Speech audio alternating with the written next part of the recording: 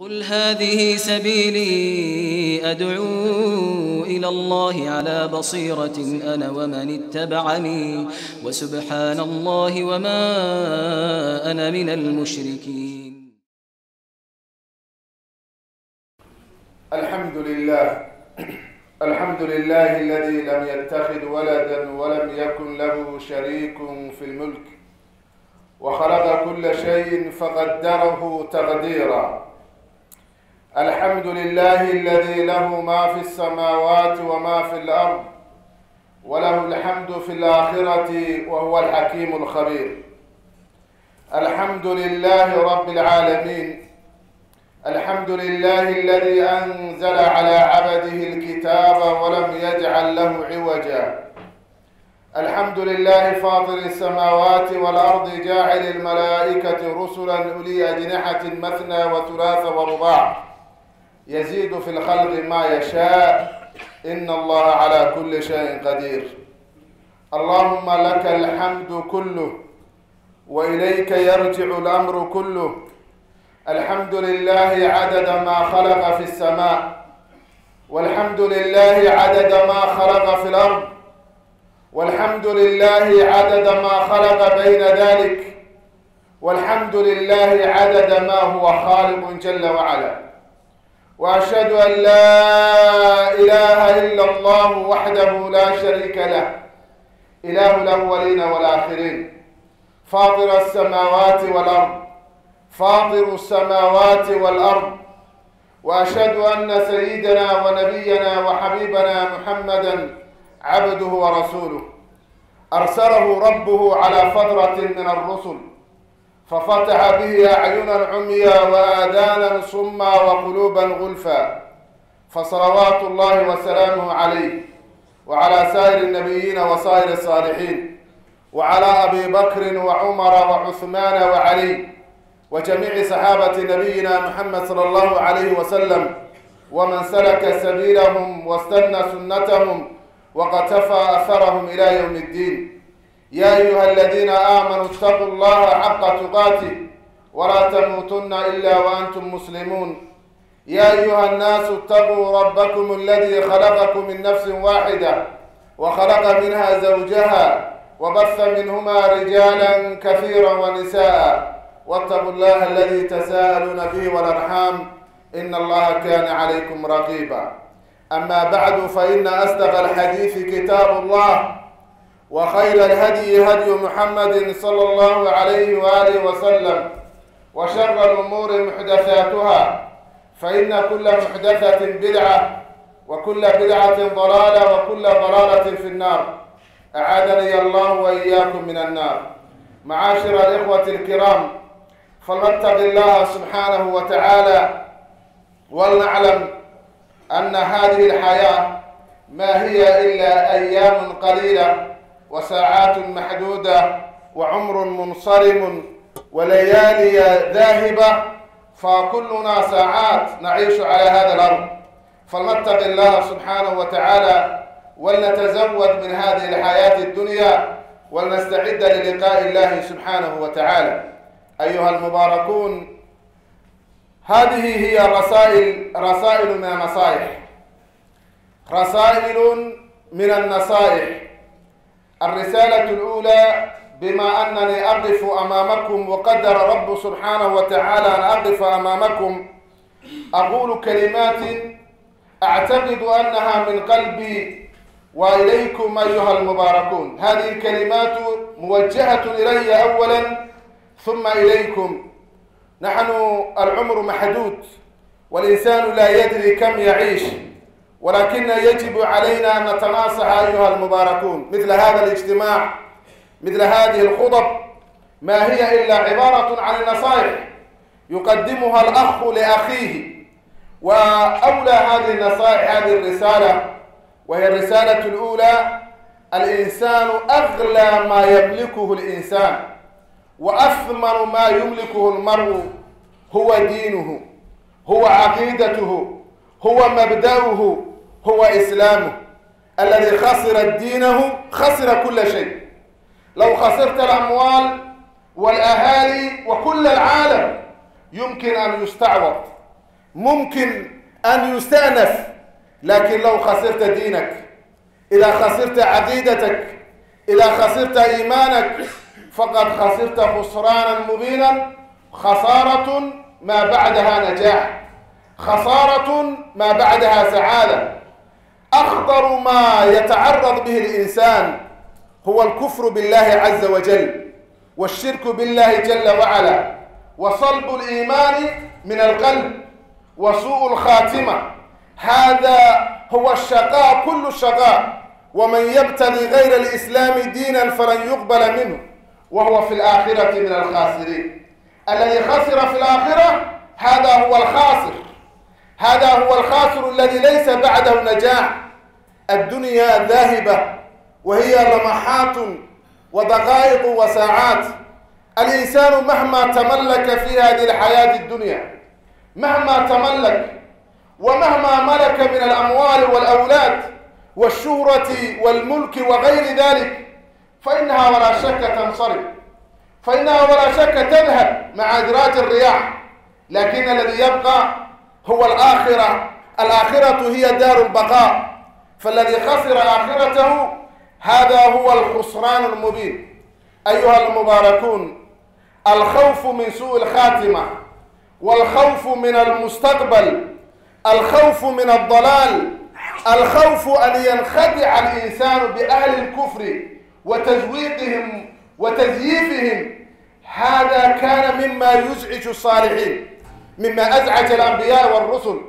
هذا مما كان يخاف منه الصالحون قبلنا وهم كانوا يعيشون في زمن أفضل من زماننا. كانوا يعيشون في فترة أحسن من فترتنا هذه. ومع ذلك ما أرقهم إلا الخوف في المستقبل.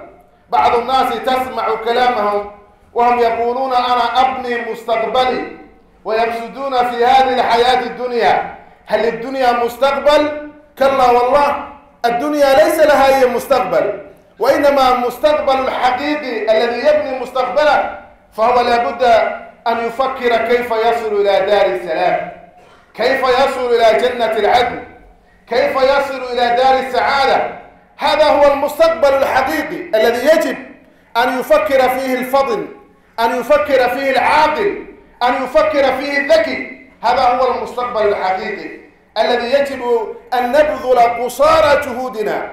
كيف نصل؟ كيف نخرج عن هذه الدنيا؟ ونحن مؤمنون ونحن مسلمون ونحن على الحق فلا تموتن إلا وأنتم مسلمون. هذا الذي أراد الصالحين أيها الإخوة الكرام سوء الخاتمة. بعض الناس كانوا على الدرب بعض الناس كانوا على الحق لكنهم تلكأوا لكنهم تراجعوا. لكنهم تنكسوا على عقابهم. بعضهم كان عندهم العلم ومثل الذي آتيناه آياتنا فانسلخ منها فأتبعه الشيطان. ذلك الإنسان العالم الذي انسلخ عن الدين وارتد بعد الإيمان. تأهل أن يكون إماما للإبليس فالإبليس يقتدي به. فقال جل وعلا فأتبعه الشيطان. المتبع هو العالم. والشيطان هو التابع لأن الشيطان يستغل ويستفيد. أنا مرة وجدت كلمة كتبها أحد الكتاب المعروفين لكنها هي كلمة حق كان كلمة عجيبة. كان يقارن بين من أضله الشيطان وبين من أضله الإنسان. فذكر قضية رجل معروف آية الله الخميني هذا هو تحدث قال قابله إبليس فقال له يا خميني أريد أن أتلمذ بين يديك. فقال له كيف تتلمذ بين يديك؟ قال والله أنا إذا أضللت الإنسان وأبعدتهم عن منهج الله فإنهم يتوبون ويتراجعون لكنني لم أجد من أضللته أنه تراجع. فأريد أن أتعلم منك هذا سر. أتباعك لا يتراجعون وأتباعي يتراجعون. يستغفرون فيتوبون. أجتهد معهم ويبنون ويبني وأبني وأبني فإذا هم بلحظات واحدة يهدمون كل شيء بالاستغفار لكن أصحابك لا يتراجعون لأنهم يعتقدون أنهم على صواب بل يستميتون على منهجك. فقال نريد أن أتعلم منك هذا السر. هذا كمثال بسيط لأن الإنسان يعني شيطان شياطين الإنس والجن يوحي بعضهم إلى بعض زخرف القول غرورا. فشيطان الإنس يعني أشد فتكا من شيطان الجن. شيطان الجن يكفي أن تقول أعوذ بالله من الشيطان الرجيم. فيتهرب. أما ذاك يأتيك من كل جانب هو مثلك يتحدث بلغتك ينمق لك الكلام يزين لك الجماع أشياء يأتيك بوسائل وطرق متنوعة متنوعة. فهذه القضية الخطيرة أقصد أيها المباركون أناس تراجعوا عن دينهم بعد الثبات. نسأل الله سبحانه وتعالى أن يعصمنا سبحانه وتعالى. وهذا كما قلت مما أرق الصالحين. كانوا ينزعجون لهذا. ذكر رب سبحانه وتعالى في القرآن الكريم. خليل ذكر خليل الرحمن وإمام الموحدين إبراهيم عليه السلام أنه كان في خوف ووجل من عن هذه القضية. لأن الإنسان لا يأمن عن مكر الله سبحانه وتعالى فلا يأمن مكر الله إلا القوم الخاسرون. وأعظم مكر المكر الذي يتعلق بعقيدتك وبإيمانك وبدينك أن تتراجع. هذا هو أعظم المكر. ولذلك إبراهيم عليه السلام إمام الموحدين خليل الرحمن يخاف على نفسه الانحراف. يخاف على نفسه أن يخرج عن الدرب. يخاف على نفسه أن يميل عن الوتيرة. ولذلك قال جل وعلا وإذ قال إبراهيم وإذ قال إبراهيم رب اجعل هذا البلد آمنا واجنبني وبني أن نعبد الأصنام. رب إنهن أضللن كثيرا من الناس فمن تبعني فإنه من. هكذا قال إبراهيم عليه السلام رب اجعل هذا البلد آمنا. واجنبني. فبدأ نفسه. واجنبني أي ابعدني عن عبادة الأصنام. هل يعبد إبراهيم عليه السلام الأصنام؟ لكنه يخاف على نفسه. واجنبني. وبني أن نعبد الأصنام. أبناء الذين كانوا أنبياء. وأبناء الذين كانوا الرسل. وأبناء الذين اختارهم الرب سبحانه وتعالى. يخاف عليهم. الانحراف. واجنبني وبني أن نعبد الأصنام والصنم هو كل ما يعبد من دون الله. الذين يعبدون الصالحين ويعبدون الأنبياء والرسل كالذين يعبدون عيسى عليه السلام هؤلاء يعبدون الصنم لا يعبدون عيسى لأن عيسى بريء منهم. نبي الله عيسى أرسله رب سبحانه وتعالى ليحارب الشركيات والكفريات والعبادة غير الله وما جاء ليأمر البشرية إلا أن يعني تخلص أو يعني تصفي العبادات والطاعات لله عز وجل. ولكن الله جل وعلا يقول لقد كفر الذين قالوا إن الله هو المسيح ابن مريم. لقد كفر الذين قالوا إن الله هو المسيح ابن مريم. قل فمن يملك لكم من الله شيئا إن أراد أن يهلك المسيح ابن مريم وأمه؟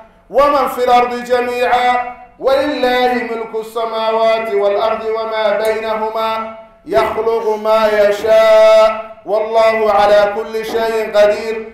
لقد كفر الذين قالوا إن الله هو المسيح ابن مريم وقال المسيح يا بني إسرائيل اعبدوا الله ربي وربكم إنه من يشرك بالله فقد حرم الله عليه الجنة. لقد كفر الذين قالوا إن الله ثالث ثلاثة وما من إله إلا إله واحد. وإذ قال الله يا عيسى ابن مريم أأنت قلت للناس اتخذوني وأمي إلهين من دون الله؟ قال سبحانك ما يكون لي أن أقول ما ليس لي بحق.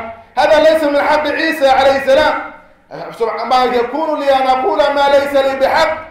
إن كنت قلته فقد علمته تعلم ما في نفسي ولا أعلم ما في نفسك إنك أنت علام الغيوب. فهؤلاء الذين يعبدون الأنبياء والرسل حقيقة يعبدون الشيطان.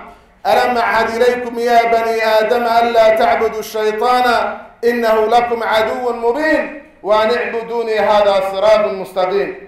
فإبراهيم عليه السلام يتعوذ بالله عز وجل أن يعبد هو وأبناه الأصنام ينطرح بين يدي الله عز وجل ويرفع أكف الضراعة إليه جل وعلا. وهكذا الأنبياء والرسل ورحم الله إبراهيم التيمي عندما قال ومن يأمن من البلاء بعد خليل الرحمن ومن يأمن من البلاء بعد نبي الله إبراهيم عليه السلام البلاء كل البلاء هو العباد غير الله عز وجل. والموت على الشركيات والكفريات. كذلك أيها المباركون ها هو يوسف عليه السلام. نبي الله يوسف الذي من الله سبحانه وتعالى عليه مننا كثيرة أعطاه رب سبحانه وتعالى الملك وأعطاه جل وعلا النبوة وأعطاه جل وعلا كل شيء. ولكنه يخاف نبي الله يوسف عليه السلام عندما وصل إلى القمة. عندئذ أتذكر أن القضية المهمة أن قضية الإيمان الثبات على الدين الثبات على الدرب الثبات على الإيمان. الإنسان يفقد يترك الرئاسة. نبي الله يوسف عليه السلام ترك الملك مصر وكل شيء هكذا يذهب. لكن الذي يبقى هو الإيمان. فقال وهو ينادي ربه عز وجل وهو يتضرع لله جل وعلا. قال ربي قد آتيتني من الملك وعلمتني من تأويل الأحاديث فاطر السماوات والأرض أنت ولي في الدنيا والآخرة توفني مسلما وألحقني بالصالحين. وهو ينادي ربه جل وعلا ربي قد آتيتني من الملك هذا هو من وسائل التواضع لله عز وجل. الاعتراف بالنعمه سبحانه وتعالى. يعترف لله جل وعلا نعمه الكثير. ربي قد آتيتني من الملك. الرب سبحانه وتعالى أتى وأعطى يوسف عليه السلام بعض الملك وليس كل الملك. فملكه سبحانه وتعالى لا يدخل تحت العصر. ولذلك قال ربي قد آتيتني أي أعطيتني من الملك من بعض الملك. من هنا تسمى تبعيضية آتيتني من الملك. وكل واحد منا وكل واحدة منكن فعندها الملك. الله سبحانه وتعالى أعطى البشرية كل واحد ملك في هذه الحياة الدنيا. أنت تملك اليوم سيارة وتملك عقلا وتملك قدرة وتملك أشياء. كل واحد عنده ملك. الله أعطاه سبحانه وتعالى. حتى الجوارح. جوارحنا هو ملك من الله عز وجل. حبانا إياه جل وعلا. اليوم تحرك يدك. تستطيع أن تمد يدك إما إلى الخير وإما إلى الشر. تستطيع أن تحرك لسانك بذكر الله أو بذكر الشيطان. تستطيع أن تحرك رجلك وأن تسوقك خطاك إلى الخيرات تستطيع أن تستخدم جوارحك إلى الشر كذلك. فهذا اليوم ملك لك. أما يوم القيامة أما يوم القيامة فالجوارح هذه تتأبى أن تنقاد لصاحبها يوم القيامة. فهذا الملك يصلب عندما يقول جل وعلا لمن الملك اليوم؟ لله الواحد القهار. فتتغير الأشياء عندئذ لأن الرب جل وعلا يسلب المالك ملكه يوم القيامة يوم مالك يوم الدين عندئذ. فالجوارح لا تنقاد لك حسب ما تريد. ولذلك يقولون عندما تتكلم الجلود وتتكلم الأيادي وتتكلم الأرجل. وقالوا لجلودهم لما شهدتم علينا؟ قالوا أنطقنا الله الذي أنطق كل شيء. اليوم نختم على أفواههم وتكلمنا أيديهم؟ بدل اللسان الأيادي تتكلم. بدل اللسان الأرجل تتكلم. لأن هذه الجوارح التي ملك لك اليوم فإنها تخرج عن ملكك يومئذ. فيتصرف بها رب سبحانه وتعالى تصرفا آخر. فرب جل وعلا كل واحد منا أعطاه ملكا فيعترف المؤمن هذه القضية ويقول رب قد آتيتني من الملك وعلمتني من تأويل الأحاديث. جعله رب سبحانه وتعالى نبيا من الأنبياء. فبتأويل الأحاديث مكنه رب سبحانه وتعالى أن يصير عزيز مصر. وعلمتني من تأويل الأحاديث. فاطر السماوات والأرض التوسل بأسماء الله سبحانه وتعالى وصفاته.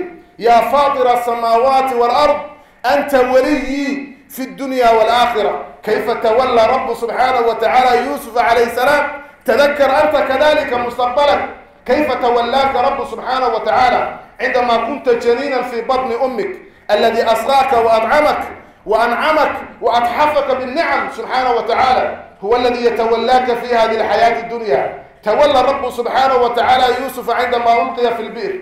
تولاه رب سبحانه وتعالى عندما اجتمعت عليه النسوة وأمكرنا فتولى رب سبحانه وتعالى عندما وضع في السجن. تولى رب سبحانه وتعالى يوسف في حياته كلها حتى مكنه رب سبحانه وتعالى وأوصله إلى قمة الهرم في قيادة مصر. فرب سبحانه وتعالى الذي تولاه اللهم ولنا من توليت يا رب العالمين. فمن تولاه رب سبحانه وتعالى فإنه لا يخاف عن شيء. رب قد آتيتني من الملك وعلمتني من تاويل الحديث. فاطر السماوات والأرض أنت ولي في الدنيا والآخرة. توفني مسلما وألحقني بالصالحين. هذه الكلمة الذي قال توفني مسلما وألحقني بالصالحين. هذه القضية المهمة. لا يبقى لا تبقى الدنيا ويعرف أن الملك لا يبقى له. لكنه يريد أن يتحفه رب سبحانه وتعالى يوم القيامة. وخلاصة هذه الرسالة أيها المباركون ليس هذا فقط وإنما نبينا محمد صلى الله عليه وسلم كذلك كان على نفس النمط عليه الصلاة والسلام. وهو المختار وهو خير خلق الله وهو خير من وضع على ثرى عليه الصلاة والسلام. وهو المعصوم وهو المجتبى. ومع هذا كان يقول يا مقلب القلوب ثبت قلبي على دينك. يا مصرف القلوب صرف قلبي على طاعتك.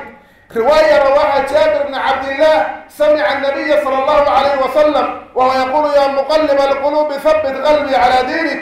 ففهم من ذلك أنها رسالة إلى أصحابه. فسأله جابر بن عبد الله وقال له يا رسول الله أتخاف علينا ونحن آمنا بما جئت به؟ فقال عليه الصلاة والسلام نعم أخاف عليكم لأن القلب بين أصبعين من أصابع الرحمن. يقلبه كيف يشاء سبحانه وتعالى. هو مقلب القلوب جل وعلا. نقل القرآن الكريم الراسخون في في العلم العلماء الذين تمكنوا في معرفة بمعرفة الله عز وجل وتوغلوا في دين الله وأذاقوا حلاوة الإيمان أنهم أنهم يخافون من سوء الخاتمة ويخافون من سوء العاقبة. هؤلاء يقول والراسخون في العلم يقولون آمنا به كل من عند ربنا وما يذكر إلا أولو الألباب. ربنا لا تزغ قلوبنا بعد إذ هديتنا وهب لنا من لدنك رحمة إنك أنت الوهاب.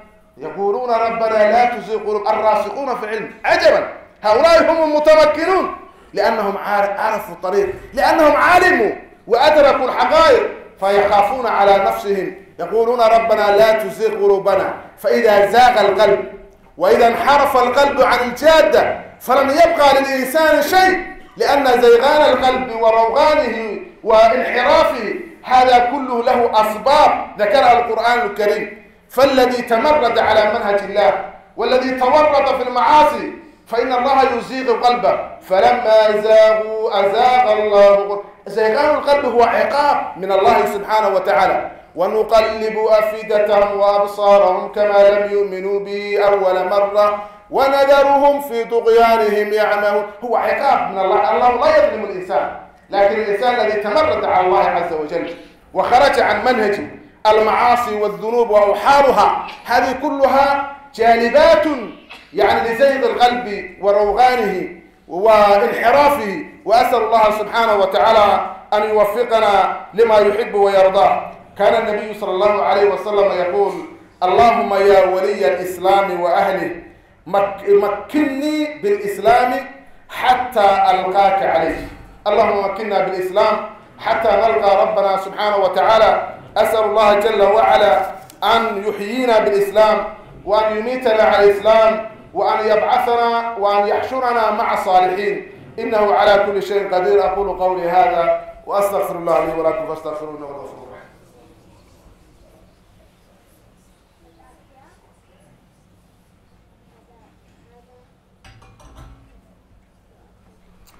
الحمد لله رب العالمين والصلاة والسلام على رسول الله وعلى آله وصحبه أجمعين وبعد.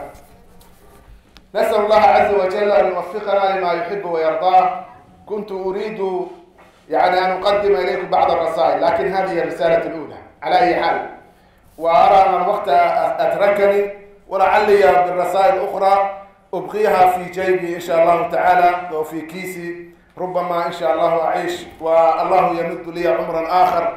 حتى أستخرج هذه الرسائل بإذن الله عز وجل وفقكم الله لما يحبه ويرضاه في الدنيا والآخرة وأنعمكم الله جل وعلا بإيمان ثابت وقلب مستقر على درب الله سبحانه وتعالى. All tacksamhet hör till Allah subhanahu wa ta'ala. Vi tackar honom för alla hans gåvor som vi fick för, av honom. Som vi omöjligt kan räkna upp samtidigt som vi ber Allah subhanahu wa ta'ala om förlåtelse för våra onda gärningar, för våra dåliga gärningar.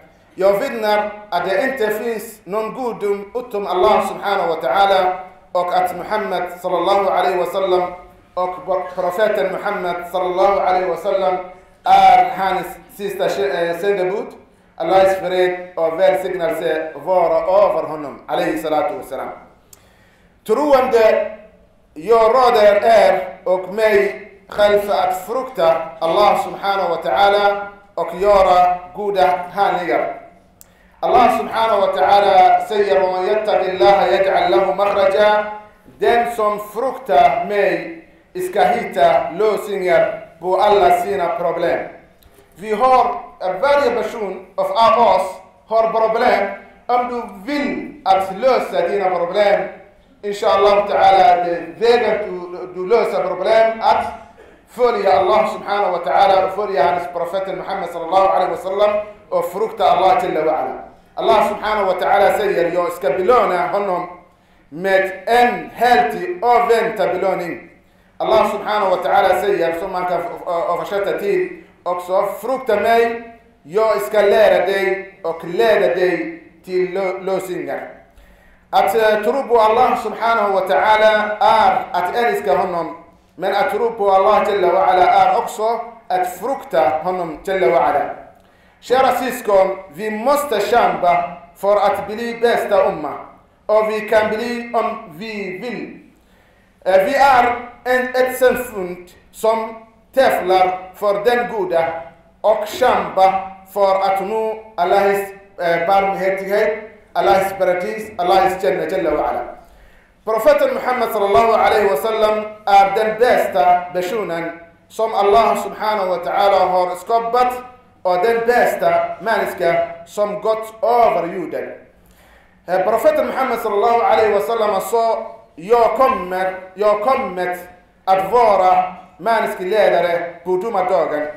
Han säger alaihi salatu wassalam han sa jag är den bästa av er. Efter mig kommer ingen profeten och ingen sändebud. Kära syskon, vi måste veta eh, att ummat Muhammed alayhi wassalam är den bästa. Och enligt Bukhari, eh, profeten alayhi wassalam sa den bästa folket är mitt folk. Han menar alayhi wassalam sahaba som hade sällskap med profeten Muhammed sallallahu alaihi wasallam. Sen de kommer efter. Sen de kommer efter. Och vi måste följa dem. Allah subhanahu wa ta'ala säger i den heliga Koranen att ni är den bästa umma som har kommit till mänskligheten.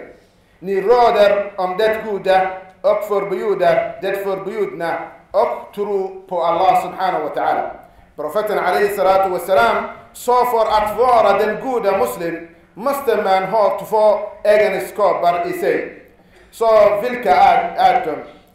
Det första, det, det första är att man måste tro på Allah subhanahu wa ta'ala fullbördar sin iman. Och den andra är att sträva alltid efter den goda. Till exempel att stärka de svaga, bota de sjuka, förbinda de sårade, för tillbaka de vilsegångna och att söka upp de förlorade, göra da'wa och behandla människor med kärlek och barmhärtighet. Och förbjuder den onda, till exempel dricka sprit, röka, ljuga och lura folk. Profeten alayhi sa den bästa muslimen är den som har den finaste karaktär. Vad betyder en god karaktär? God eh, eh, betyder, good beteende, motsin, omgivning och miljö, eh, miljö ärlig, modig och generös. Profeten Ali Salatu Wassalam sa eh, umgås med folk med bästa karaktär. Och asal Allah subhanahu wa ta'ala an yuwaffiqna lima yuhibbu yardahu اللهم أرنا الحق حقا وارزقنا اتباعه وأرنا الباطل باطلا وارزقنا اجتنابه. اللهم لا تدع لنا ذنبا إلا غفرته ولا هما إلا فرجته ولا كربا إلا نفسته. ربنا تقبل منا إنك أنت السميع العليم وتب علينا إنك أنت التواب الرحيم. ربنا آتنا في الدنيا حسنة وفي الآخرة حسنة وقنا عذاب النار. ربنا لا تزغ قلوبنا بعد إذ هديتنا وهب لنا من لدنك رحمة إنك أنت الوهاب. ربنا أفرغ علينا صبرا وثبت أقدامنا وانصرنا على القوم الكافرين. ربنا لا تؤاخذنا إن نسينا. ربنا لا تؤاخذنا بما فعل السفهاء. ربنا اغفر لنا ولإخوان الذين سبقونا بالإيمان. ولا تجعل في قلوبنا غلا للذين آمنوا. ربنا إنك رؤوف رحيم. اللهم قيد للأمة الإسلامية قيادة صالحة تقودهم إلى كتابك وسنة نبيك محمد صلى الله عليه وسلم. اللهم ارفع راية الإسلام في كل مكان.